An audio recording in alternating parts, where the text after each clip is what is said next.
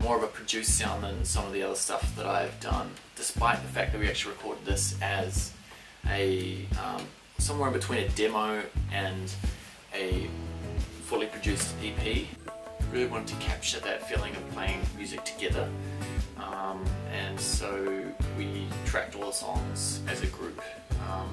with minimal time for overdubs. Um, so in some cases, such as uh, Crazy Baby, that, that really is just the take that we got. Um, you know, there's always that really strange feeling of as you're three quarters through a take and the band's doing really well, um, about to do a solo, and it's a live take, and there's that moment of like, do I push the solo to the next level, or do I just play it safe?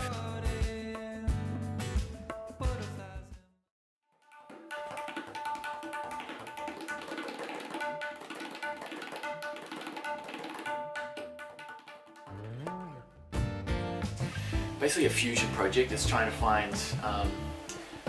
the beautiful elements of music around the world um, and learn from them and see what binds us and see also the unique phrases um, and findings that different cultures um, present in their music